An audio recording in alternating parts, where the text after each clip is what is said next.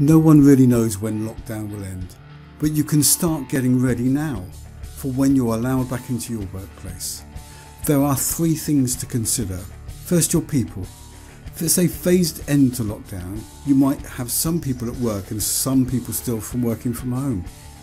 It's good to form a plan now for every scenario. We might not return to the old normal for some time yet. Then look at your hardware and software. What's been difficult during lockdown? What's caused frustration and what needs to be upgraded or changed?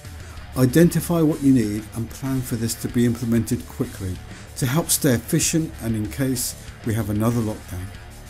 Finally, look at your data.